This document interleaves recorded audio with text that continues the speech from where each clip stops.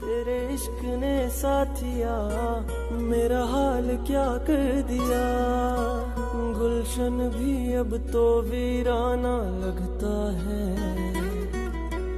हर अपना हमको बेगाना लगता है। हम तेरी यादों में खोए रहते हैं। लोग हमें पागल दीवाना कहते हैं। living